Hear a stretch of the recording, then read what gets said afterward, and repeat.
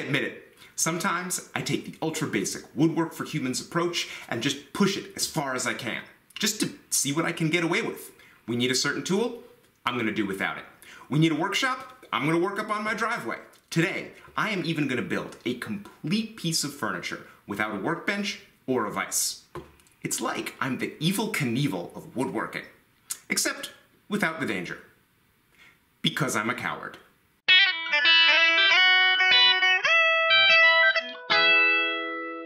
Last week, I made this very basic chopping block. It's a simple idea. You take a green log, bolt three legs to it, and you've got a solid surface for chopping and other hatchet work. But then, I took it a little bit further and turned a cheap F-clamp into a hold down, and I added a peg to keep work from rotating. In the end, I kind of had a little workbench. But even I thought that idea was a little bit ridiculous. I mean, I'm gonna take a log with some legs on it and call it a workbench? That is a bold claim, and if I'm gonna prove it, I need to put my money where my mouth is and use this block to build a real piece of traditional furniture, like maybe a nice milking stool. Oh, and let's do it out in the backyard. Winter is coming. Your outdoor workspace can be very basic. Find a flat piece of ground and throw down your chopping block. Add a bucket full of tools. Actually, it's about five tools. And you're gonna need some kind of sawhorses. These low Japanese horses are cheap and easy to make, and there's no way I can cross-cut big boards on the chopping block. That would be absurd. The low sawhorses might be tiny, but they'll handle the biggest pieces of lumber. The seat for my stool is gonna come from this spruce 2x12. I have it for another project, but I can pinch a little bit for this piece. Of course, if you don't have any wide lumber sitting around, feel free to just glue up a couple of pieces. I've been really careful to cut my seat blank exactly square. It's about 11 inches across, and that will give me a nice sized circle for the seat. Connect the corners with a straight edge, and you'll have the exact center. Mark this center point deeply. This piece requires more layout than you would think, and you can't afford to lose the center. Oh, and do all your layout on the underside of the seat. I just picked the uglier surface and made that the underside.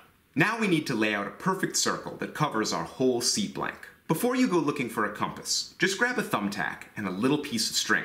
Keep the string stretched tight and your pencil held steady, and you can draw a really nice circle. I promise, it's not difficult. You're also going to need a smaller circle to locate the positions of your three legs. Shorten your string by an inch and three quarters and draw your second circle inside the first one. With our circles drawn, we can get down to shaping the seat. Use the clamp and a bit of padding to secure the seat blank to the block and take off all the corners. This turns your square into an octagon.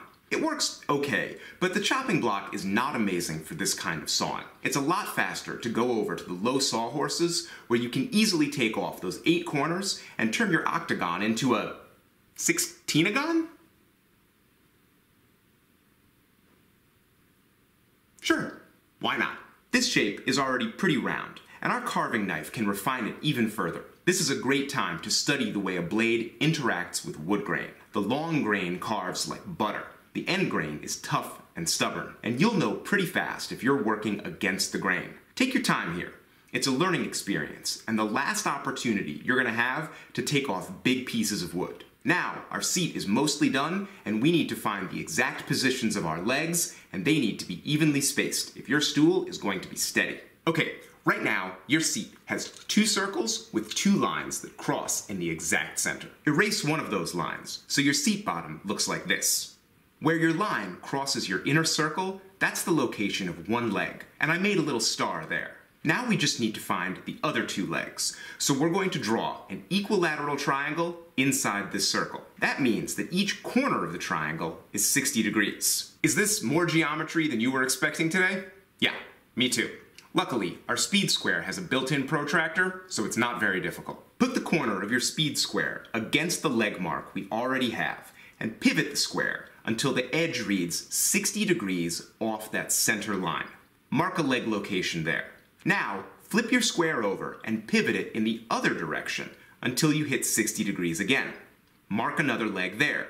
The last step is to draw the sight lines that we'll use for drilling our leg holes. Draw a line from each leg location through the center of your circle. You'll know you've done everything right if your seat looks like a pie divided into six equal slices. We're almost ready to drill. Anytime you're putting legs into a chair or a stool, there are usually two angles you need to worry about. The first angle is called the sightline angle, and that represents how much the leg is rotated away from the center line of the stool. So, for instance, in this piece, my rear leg has no sightline angle. It appears as being perfectly perpendicular when you look at the stool straight on. These two front legs do have a little bit of sightline angle. They're rotated away just a little bit. The other angle you have to think about is how much the leg kicks out from perpendicular. That's often called the resultant angle. Now, we've already drawn in our sightline angles, so those are all set. Now all we have to do is get the resultant angles when we do our drilling. Now what we would usually do is use a bevel gauge to guide our drill bit while we're getting that angle. But if you don't have a bevel gauge, don't worry. We're gonna make a simple angle guide right now. If you put your speed square against the side of a piece of 2x4, the protractor will read 45 degrees. Hold the pivot point steady and rotate your square until the angle reads 85 degrees. It's not marked on my square, but it's just two ticks past 80. If we strike a line here, this gives us an angle of 5 degrees off perpendicular. If I carry that line all around my piece and carefully saw through it, I'll end up with an effective little angle guide. Clamp your seat to your chopping block and align your drill bit with your sight line.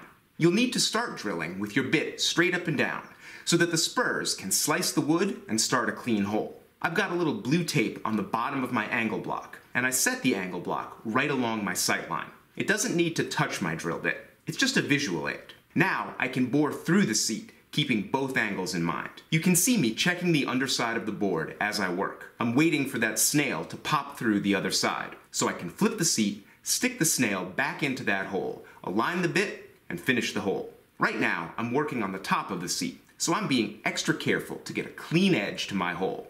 This is the part that will show. Oh, and you might be tempted to skip all these angles and just install your legs straight up and down. Don't do that. Your stool will be really unstable. With the seat nearly completed, it's just down to the details. We got it pretty round with the knife, but a sanding stick with 100 grit paper is a great tool for taking out flat spots and getting a smoother curve. When the outer curve is done, that gives me a reference. If I grip my pencil and let my knuckle ride along that outside curve, I can draw a nice circle about a half inch in. My carving knife will let me bevel to that line at about a 45 degree angle. Pay attention to your grain here. It would be very frustrating to carve in the wrong direction and chip out a huge piece of wood after all this work. Keep flipping the seat so you're always working with the grain. Then you can use your sanding stick to turn that flat bevel into a smooth, round over detail.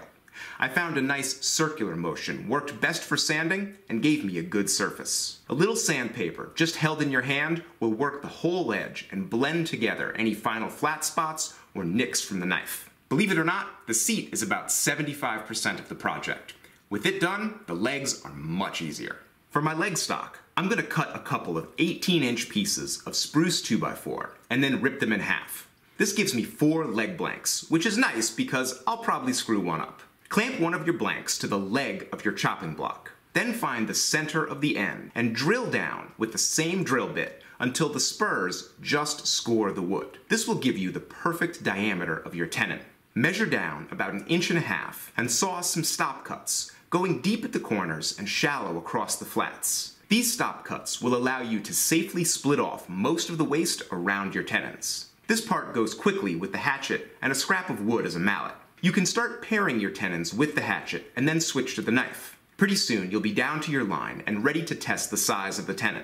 Don't use your seat for testing. Because we used soft wood, pushing the tenon in and out of those holes will quickly widen them and ruin the fit. Instead, drill a hole in a scrap of hardwood or a piece of plywood and use that to test your tenons. As you push your test board down onto your tenon, it will leave shiny, burnished spots and a little ridge where it stopped going down. You can use these marks to tell you where to continue trimming. And after a few rounds of fitting, you'll have a perfect round tenon. So right now, your leg probably looks like this. This is a perfect, nice tenon on the end, but underneath the tenon there's this flat shelf, and that's bad. Because what's gonna happen over time is pressure is gonna get applied to your seat every time somebody sits on it, and eventually it's gonna come down and rest right on that shelf. then as time goes on and this leg is pushed back and forth in daily use, this is gonna be like a lever and it's eventually gonna work it loose. So this shelf right here is a real problem. We need to get rid of this. What we want instead is a nice tapered shape underneath the tenon. This is a test joint that I made to illustrate the point, and it shows how we can make things a lot better. By having a taper right here, every time weight is applied to the seat, it's going to push that tapered part further into that round mortise and tighten things down more instead of loosening them up. Now, there's a whole school of furniture called staked furniture, where the entire tenon and the entire hole are both tapered, and those things lock together super tight. But you need specialized tools to make the mortise and to make the tenon and to make them match up. By putting that taper just beneath our straight tenon, we can get a lot of the benefits of staked furniture, but without needing any specialized tools. The taper doesn't need to be really perfect. It's not going to be very visible, so some quick hatchet work gets it started, and then you can move on to the knife to smooth things out. Now you can test the tenon in the seat hole. I like to number my legs on the end and put another number on the seat. I rotate the legs so it looks straight and I put the numbers next to each other so I can quickly find the correct position during assembly.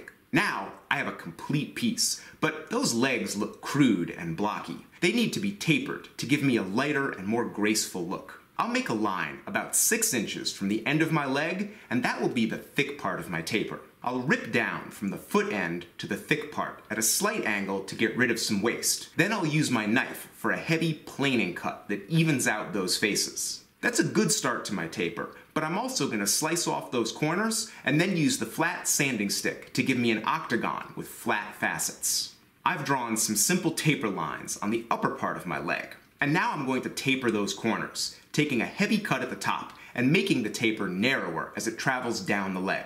Now I'm looking at each leg individually and just finding the ugly spots where the wood bulges out and messes up my nice tapers. I'm pretty aggressive in slicing off those parts. And Pretty soon, the whole leg has a nice taper in both directions. To keep your flat facets defined, you can lay your sanding block down and sand the leg that way. Keep experimenting as you work. There are always new ways to use these simple tools. Once I've got my legs shaped and temporarily installed, I'm going to draw a line across the top of each tenon, perpendicular to the grain of the seat. I'm going to wedge these tenons, and if the wedges are parallel to the grain, then I'll split the seat right in half. I can use my Ryoba saw to split those tenons all the way down to the taper, and then cut some hardwood wedges. I use walnut, but you can use anything hard. Your wedge should be fat on the end, but taper down to a feather edge. Your wedges need to be the exact width of your tenons, but they're easy to trim with your knife. You should also make a couple of extra wedges, just in case. After all this work, the assembly can be a little nerve-wracking, but it doesn't need to be. Put an even layer of glue on all your tenons. You can use a long shaving as a glue brush. By now, you've got plenty. Put your tenons into your seat and twist them back and forth as you insert them. That helps get a good fit and you can line up your numbers. I also like to put a little glue around the tops of my holes. Most of it squishes out, but it's good insurance against gaps. Put a little glue on your wedges and get them started with a piece of scrap wood. After they're mostly seated, switch to the back of your hatchet for a few final taps. Remember that this stool is made out of spruce, which is a lot softer than these walnut wedges. Once the wedges really start resisting you, leave them alone. I only let my glue dry for about an hour before I come back with the Ryoba and trim the tenons. One of the handy things about a Ryoba saw is that it's flexible enough for flush cutting. You can see that I've put a little blue tape on the seat, and that's going to save me a lot of time cleaning up scratches from the saw teeth. My sanding stick also makes a good sanding block, and I can smooth out the tops of those legs. The last thing is to level the feet, but all I have to do is lay a pencil flat on the block and trace around the legs. Once I cross-cut those lines, my stool is going to sit steady, and I'm done. The final stool is a little bit rustic, but I made it with the most basic tools, and this is a real piece of furniture. It's at a good height, and it supports my weight no problem. Little stools like this are handy to have around the house. And if I need to bring a seat to a neighbor's backyard barbecue, I just grab one of these. I don't even own any lawn chairs. My little milking stools work great. So the whole point of this video was to see if the chopping block really could be used as a workbench. And after using it for a whole week, I can tell you that the block is about half a workbench. It works beautifully for things like chopping, paring, trimming, and drilling. Operations that are mostly straight up and down. But it's not great for sawing, especially for sawing large pieces of wood. For that, you really need a small workbench or maybe some sawhorses. The low Japanese sawhorses worked especially well. I've got a whole video on making those and a set of very affordable plans. I will link to those down in the description. If you take the chopping block along with a pair of sawhorses, then you have a really good portable work setup. You can use it outside the way I did, or you can just use it maybe in the corner of your house or apartment where you wouldn't normally be able to fit a whole bench. And they're really effective together. While I was out there this week, I also made myself a new mallet using only the chopping block, and it came out great. I was able to handle all the operations for this smaller project just using the block. Now, when I built the block, I wanted it to go in my workshop, and I really just planned to use it for chopping operations with the hatchet. So I made the base of the legs pretty narrow, and that's fine because I'm not gonna trip over them. If you wanna use the chopping block for heavier operations, if you want to experiment with sawing, what I recommend is you increase the angle on those legs and give it a sturdier base. If you're going to use it as a primary work surface, you probably want to make that modification. But that's the great thing about making your own tools and making your own fixtures for woodworking. You can just modify them however you need to. That's what makes them a lot better than stuff you would just buy out of a catalog. Anyway, before I go, I have to thank my patrons on Patreon because they are the ones who make this content possible. Their support pays for all the stuff you see here, especially lighting and editing and all the hidden costs of keeping a channel like this running. If you'd like to be one of the amazing people who makes this content possible, go on over to patreon.com slash rexkrueger and check out the early access, rewards, discussion forum, and free plans that I have just for the people who make this stuff possible. I'll be back next week with an awesome, beginner-friendly woodworking project, and I really hope you'll join me. Thanks for watching.